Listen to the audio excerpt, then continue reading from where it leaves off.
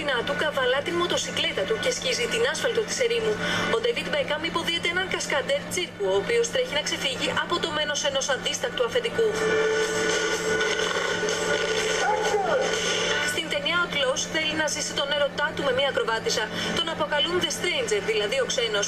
Είναι ένας μυστηριώδης μοτοσυκλετιστής που δεν μιλάει, μόνο κοιτά και οδηγεί. Πρωταγωνιστή δίπλα στον Harvey Keitel.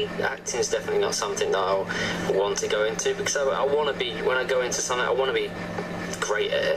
Η ταινία θα κάνει πρεμιέρα στο Λονδίνο στις 21 Σεπτεμβρίου και όπως φαίνεται του έχει φέρει γούρι. Πρόκειται να πάρει μέρος στην επόμενη ταινία του Γκάι Ρίτσι με τον τίτλο «Οι υπότες της στρογγυλής τραπέζης».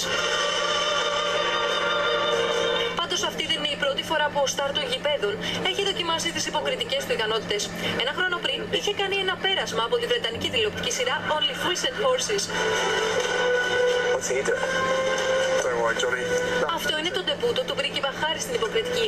Ο άτακτος γαλαζοαίματο σε ρόλο κύπουρου σκαλίζει έναν κήπο μέχρι τη στιγμή που περνά από μπροστά του τρέχοντας ένας νεαρός αθλητής του ράγκμπι.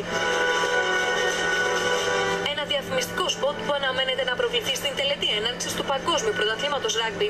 Η ταινία Μικρού Μήκους μας μεταφέρει στο 1823 και αφηγείται την ιστορία του αθλήματος. Να δούμε τώρα άλλες